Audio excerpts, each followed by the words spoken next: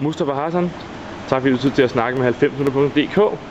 Øhm, I dag scorer du to mål, og øhm, I sikrer sådan set ligaen med den her sejr 4-0 over FC Midtjylland. Øh, hvordan synes du selv, det gik i dag? Jeg synes, jeg synes, det gik rigtig, rigtig godt, og vi spiller rigtig, rigtig god kamp. Og hele holdet gør det rigtig godt. Og det var vigtigt, at vi vandt det kamp. Så Øh, kan du prøve at beskrive dine øh, to mål? Ja, men første mål var sådan øh, en dybden, hvor jeg tager med, og så afsluttede med hø- højre ben. Og så den anden mål, det var sådan, at øh, hvor jeg var ind mod en, og så dribler jeg og så skår jeg, dribler også målmand, og så skår jeg mål. Øh, to mål i dag, og du scorede fire mål forleden. Øh, synes du selv, at du banker på til, øh, til truppen over altså U-truppen? Det håber jeg i hvert fald på.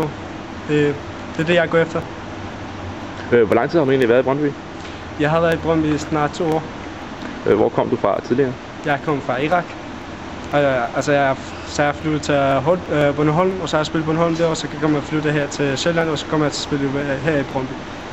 Hvor mange mål har du scoret i denne sæson?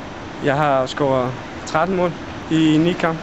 Hvordan vil du egentlig beskrive dig selv øh, som øh, spiller? En hurtig spiller. Hvad er dine styrker ud over din, øh, din hurtighed? Øh, technique.